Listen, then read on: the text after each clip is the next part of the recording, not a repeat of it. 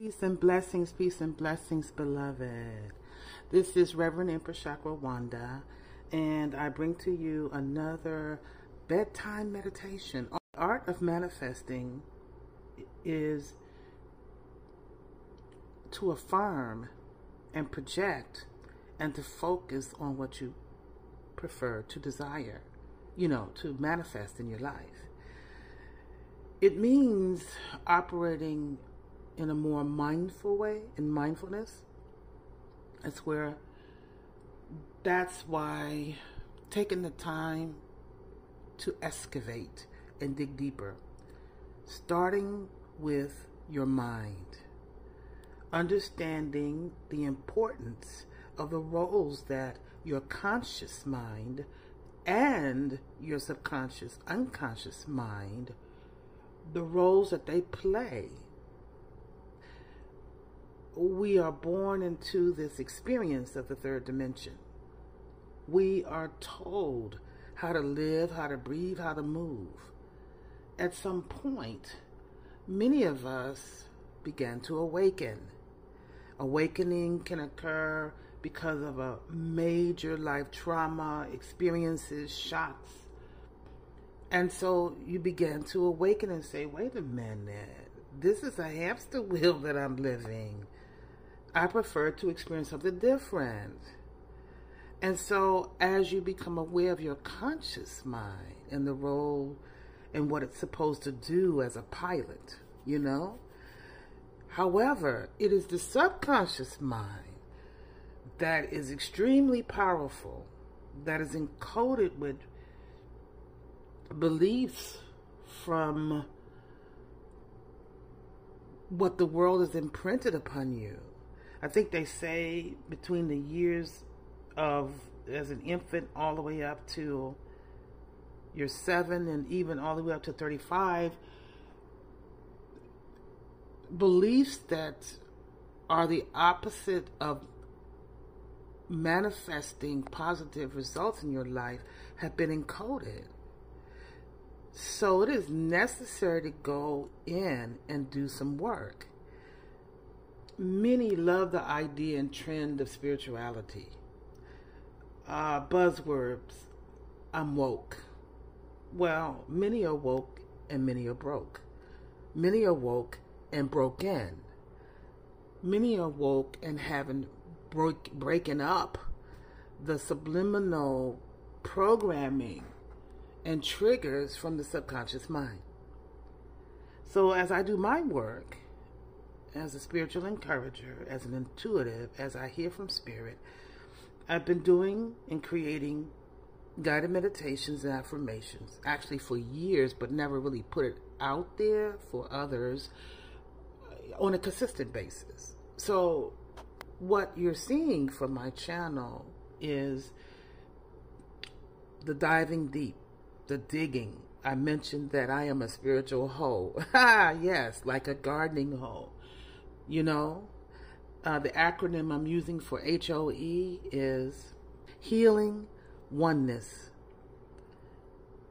and Evolution, something like that. But look,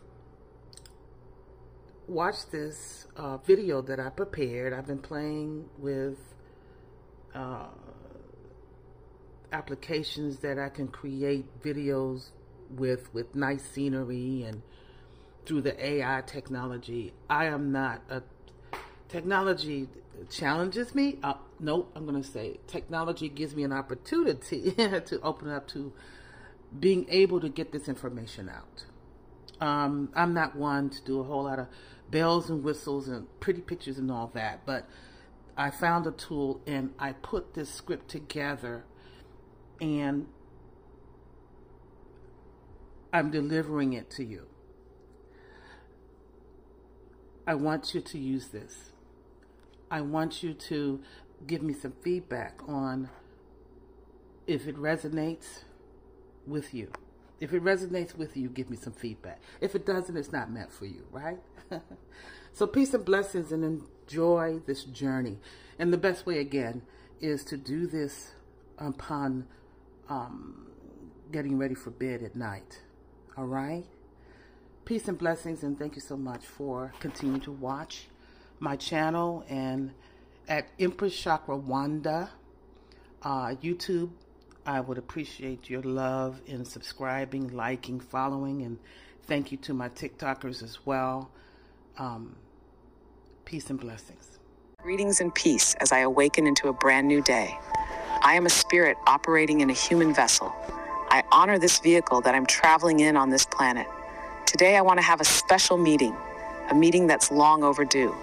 Right now, I'm calling forth both my conscious and subconscious mind. As you both come forth, I see you both manifest in actual physical forms with light bodies. In my mind's eye, all three of us appear in a room. In this room, we are sitting together in a circle on comfortable lounge chairs. This meeting is a beginning of many to come. I appreciate you both, conscio and subconscious mind, for allowing me to have your undivided attention. I called this long overdue meeting because my life has been reflecting experiences that I would like to change. Here's what I understand each of your responsibilities are consciousness mind. To me, you feel like a pilot. I understand that your role is to organize my thoughts, feelings, intuition, and access memory. Subconscious mind, I have come to understand that you play a very powerful. You are a storage of feelings, thoughts, beliefs, urges, hidden memories, emotions, habits, reactions, and desires beyond my awareness. So for years, I understood you were present, but I really didn't understand the significance of how you both run my life. From now on, I will respect and honor both of your abilities. Moving forward, I request both of your assistance with shifting the life experience that I'm having. I have a folder for each of you which lists the areas of my life that I desire to shift my thinking to result in positive manifestations. For this meeting, I want to focus on money and financial stability. In future meetings, I want to address career relationships, and health, and whatever else I choose to elevate in this life journey. Okay, now I want to address conscious mind. From now on, I'm going to be submitting higher vibrational thoughts in the form of affirmations. I'm also going to monitor negative thoughts and replacing them for you to process and pass on to subconscious mind. As for you, subconscious mind, you've been operating on autopilot for a long, long time. You must be exhausted. I know that in essence, you're trying to keep me safe, but you've been operating from old programming and beliefs that no longer serve my life. So today I'm giving you both instructions and permission to take the higher vibrational affirming thoughts you receive from me through conscious mind.